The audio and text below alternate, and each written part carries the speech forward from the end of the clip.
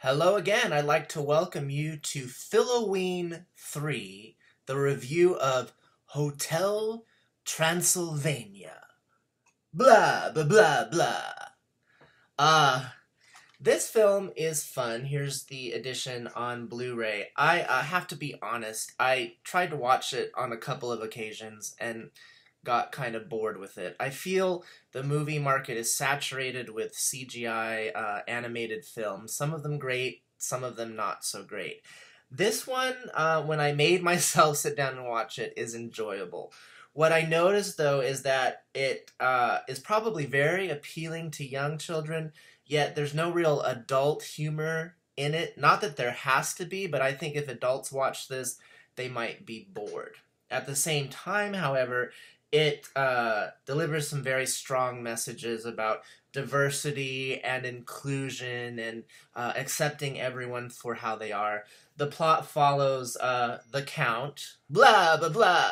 The plot follows Dracula, uh, who um, has a daughter, Mavis, who's celebrating her 118th birthday party.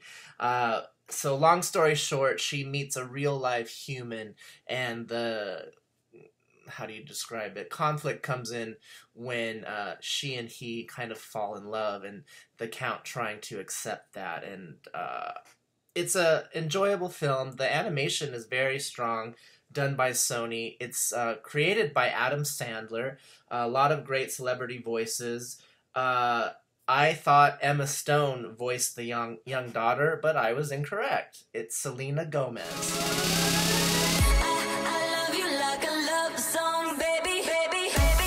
So I would encourage check it out. It's an enjoyable uh, family film, very family friendly, with a lot of great messages. One thing I would suggest is don't have any distractions around while you're watching it because the jokes and the sight gags and all of the fun come so fast and furious at you, you're bound to miss something. So this is one that would be good for repeat viewings because there's a lot of frenetic activity all over the screen, in the background, foreground, everywhere, so you don't know what to focus on at once.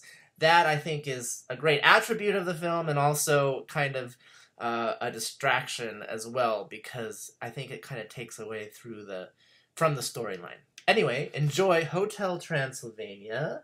Blah, blah, blah, blah. You'll understand why I'm saying that because that's one of the many running jokes throughout the film. So thank you and enjoy Hotel Transylvania. Ah, bye.